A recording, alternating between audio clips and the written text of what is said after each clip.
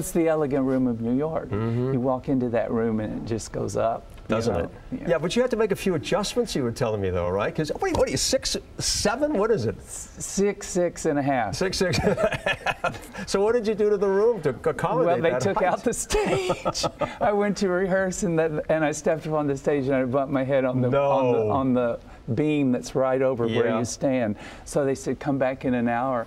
And they had miraculously, the stage was gone. I don't know where they put Amazing. it. Maybe in my room. Maybe, but yeah. So then, so, so then, then they put up a little stage. Uh-huh. So I'm, I'm on the world's tiniest tap stage, Oh, but it God. works.